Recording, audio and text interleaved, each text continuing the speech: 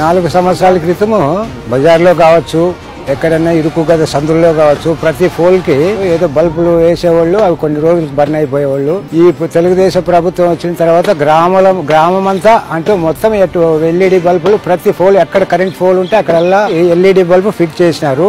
ఇప్పుడు గ్రామం ఎట్లుందంటే పగలు ఎట్లుందో రాత్రి కూడా అదే విధంగా ఎల్ఈడి వెలుగులతో నిండిపోయింది.